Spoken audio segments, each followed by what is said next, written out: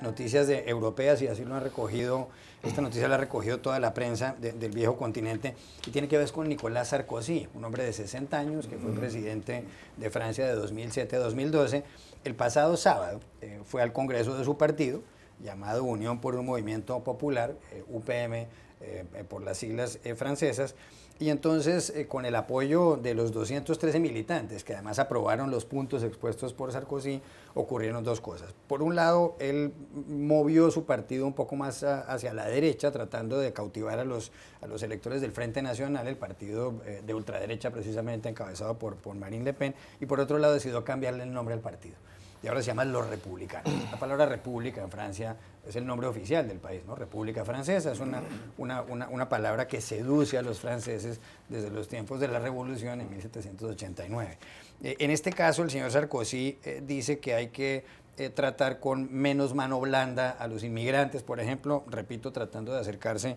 al Frente Nacional. La primera pregunta es, ¿se va a convertir Sarkozy, que está buscando volver a competir en las elecciones presidenciales de 2017, se va a convertir Sarkozy, como dice algún analista político, en un Le Pen light? Bueno, pues eh, parece que está intentando ocupar ese espacio, eh, ese, espacio de, desafección de parte de la, sociedad francesa eh, que, desde 2011, desde que Marine Le Pen sucedió a su padre en el partido, frente del partido de la ultraderecha, está obteniendo cada vez mejores eh, resultados. aprovechando, bueno, pues yo creo la confusión que hay en Francia y el miedo por,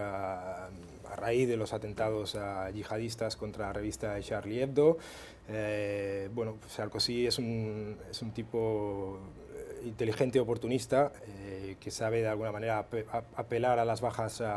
pasiones del, electorado y esa yo creo que es una, de las lecturas y por otra, bueno, pues su partido viene de eh, una temporada de, luchas intestinas entre distintos ah, líderes de la formación eh, y, está azotado por los casos de corrupción. Parece que Sarkozy está encausado en al menos 10, ah, parte de 10 investigaciones y ha sido imputado.